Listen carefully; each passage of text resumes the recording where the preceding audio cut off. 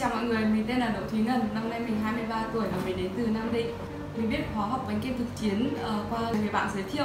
Uh, bạn ấy có nói là uh, những người mà đã từng học khóa kem bánh kem ở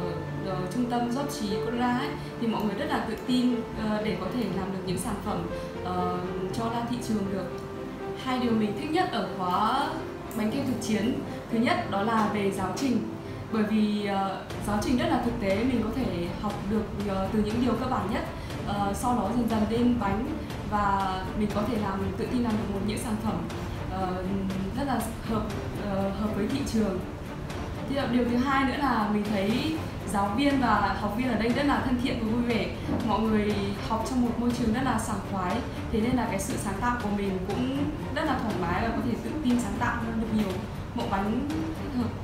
kiến thức mình học ở dốc trí thì mình thấy thật sự là rất thực tế bởi vì với một người mới bắt đầu như mình uh, mình chưa biết mình chưa được làm quen với uh,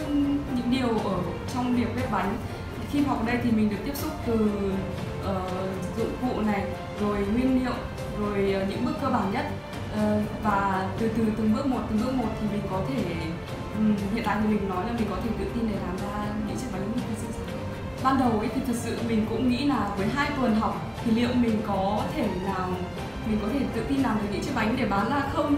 Mình cũng lo lắng và mình cũng nhắn lại ờ, với thầy là thầy ơi cho em hỏi là liệu thời gian như thế thì có phù hợp không? Và thầy có nói với mình là trong khóa học ấy thì chỉ có 5%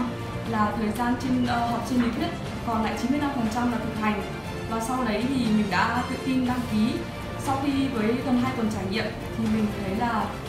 hiện giờ mình đã làm được uh, những chiếc bánh kể cả từ hiện đại rồi bánh cưới bánh sinh nhật uh, bánh tân gia và hiện tại mình thấy là mình rất tự tin với với những cái gì mình đã học được để sẵn sàng có thể uh, mở một tiệm kinh doanh trong chính bản thân mình.